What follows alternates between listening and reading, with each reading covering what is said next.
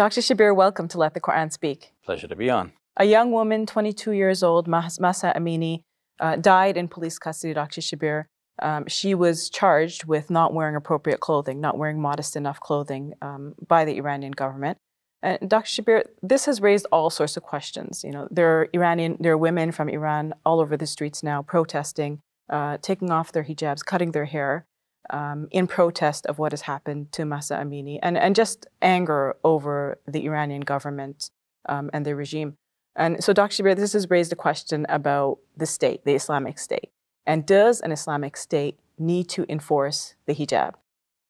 Well, to begin with, we can say that uh, it is very clear from the Quran that uh, the Muslim polity uh, would have certain, uh, well, it would be within their jurisdiction to uh, enforce penal laws. So, for, example, the law against stealing, against murder, and so on.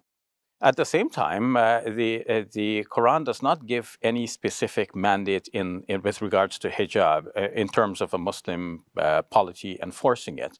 Uh, we can only say that in general, the Muslim polity would have the responsibility to do what the Quran speaks of generally as al-amr bil ma'ruf wa nahy al munkar, uh, commanding what is good and forbidding what is what is wrong. Mm-hmm. but of course, when it comes to so many different uh, evils in society, uh, the Muslim government would have to be sagacious in in picking the battles and seeing, you know, what uh, what can be enforced, should be enforced, uh, as as opposed to some things which uh, you need to just be content with preaching and education and and so on. Mm-hmm. So it it seems to me that the Muslim woman's clothing has been much misunderstood in in Islamic law and in our classical law books uh, to the extent that you know the covering of the entire woman's body is sometimes uh, being uh, presented as a given and as if it all uh, has the same ruling of fard or obligatory mm-hmm.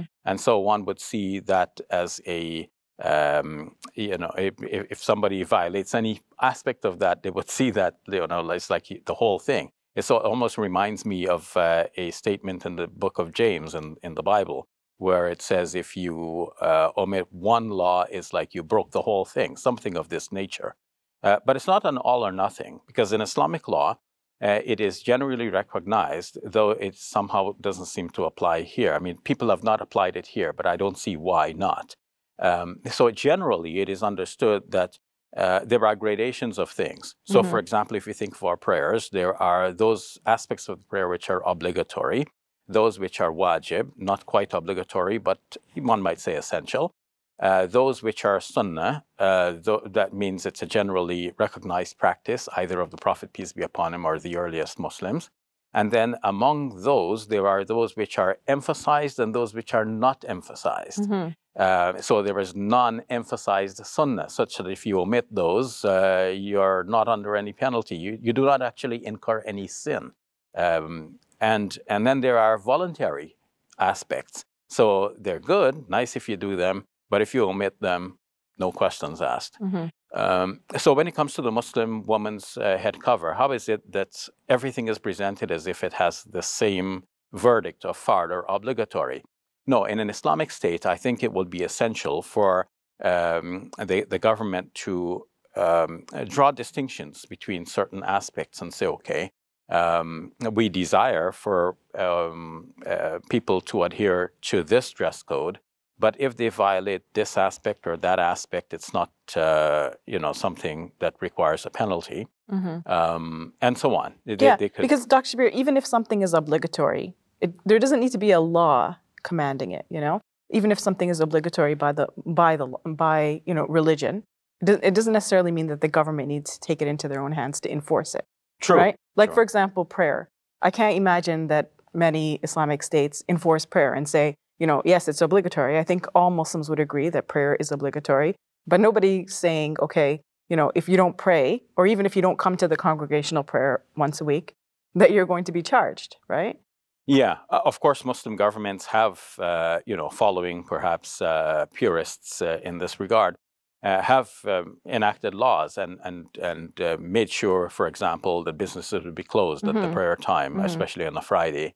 Um, and a purist might argue further that uh, you know the person who does not come to join the regular prayers uh, or does not do the regular prayers at all, uh, they could face certain penalties and so on. Uh, even uh, we can extend that to fasting and see that purists would argue, you know, the person who does not fast during the month of Ramadan, though being able-bodied and, and not being ill or being on a journey, that person should be penalized as well. But all of this is taking Islamic law too far and it is going beyond what the Prophet, peace be upon him, himself practiced. And, and people might try to pin this on the Prophet, peace be upon him, by saying, you know, uh, the, the, Prophet, peace be upon him, would have done that. But mm-hmm. uh, that is a little bit far fetched.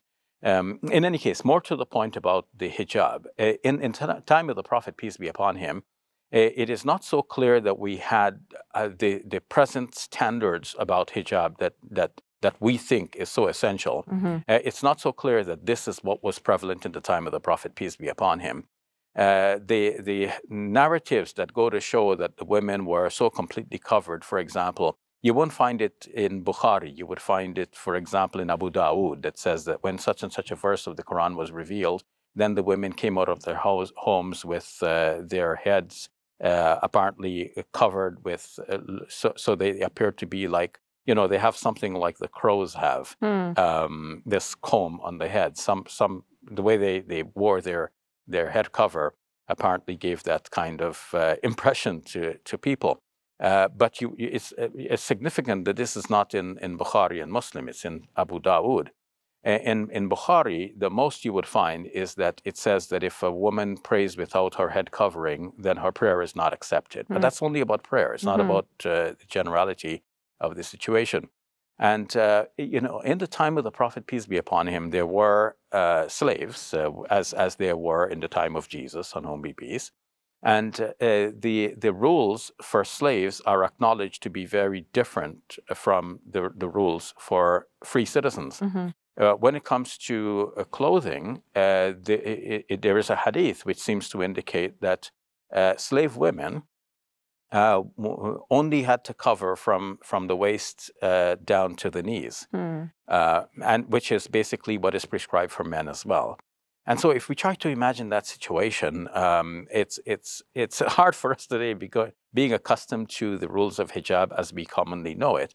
But when we look at that, we realize that uh, uh, you know a lot has developed over time, for for better or for worse. And where it works and people are fine with living by these standards. So one cannot doubt that this, this is very decent.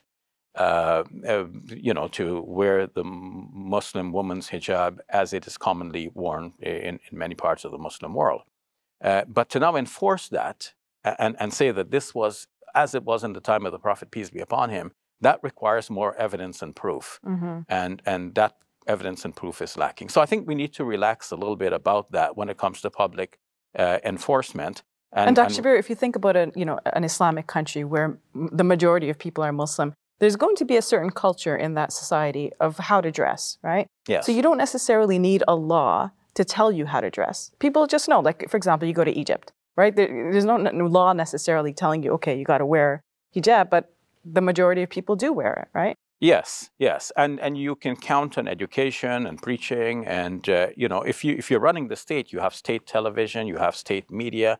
Uh, you you can through all of these media outlets, uh, you can uh, educate people and guide them, teach them about the uh, Quran and and the way of the Prophet Muhammad, peace be upon him.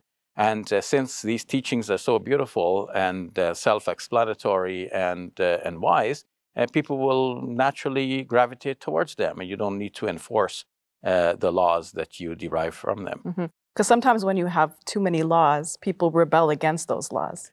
True, true. And it becomes difficult to enforce as well. And mm-hmm. then if you go enforcing everything, then you become a police state, which mm-hmm. is also not very desirable, a, a place to, to live under. Uh, so uh, a balance has to be struck in almost every country in the world you will have some line that, that cannot be crossed, mm-hmm. uh, and uh, you know people will be penalized for crossing that line. Mm-hmm. So there are indecency laws against uh, you know the laws against indecency.